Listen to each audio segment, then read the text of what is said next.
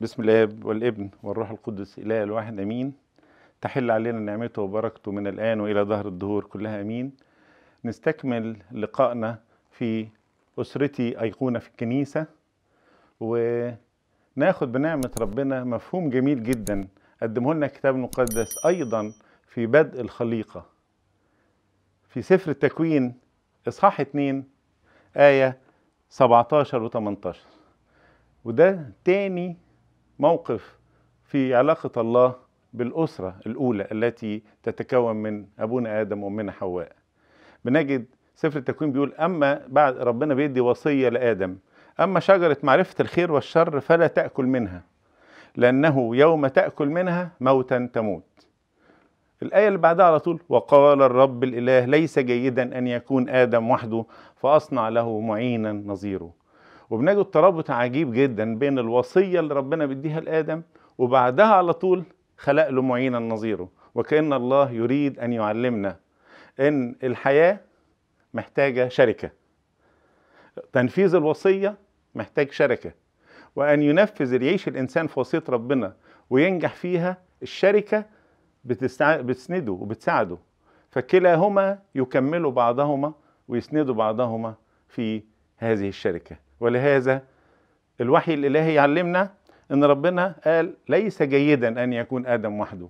الوحدة في المجتمع وفي العالم صعبة. الله أراد للإنسان أن يحيا في فرح وسعادة وقوة وانتصار وغلبة وأمانة في تنفيذ الوصية. وكل هذا بيتحقق عندما تكون الأسرة فيها ارتباط وتكامل.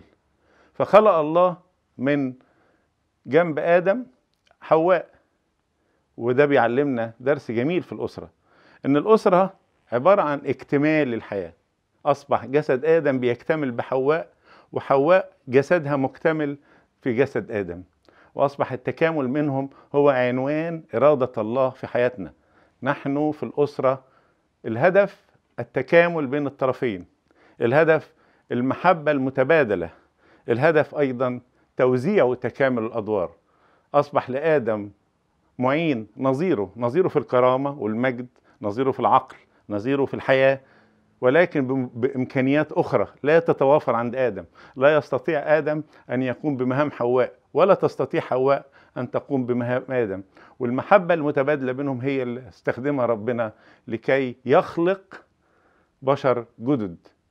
هذا التكامل في حياتنا الواضح جدا في إرادة الله المعلنة في سفر التكوين بيعلمنا إن الحياة محتاجة الاحتياج إلى رفيق وده بيتحقق في الأسرة.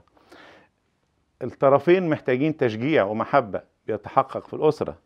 الوحدانية الإنسانية ليست هي الأصل ولكن الأصل التكامل بين طرفين. نجاح الإنسان مع شريك حقيقي مؤكد وبدون هذا التعاون لا تتحقق إرادة الله في الأسرة. الأسرة المسيحية فيها تكامل فيها شركة فيها محبة متبادلة.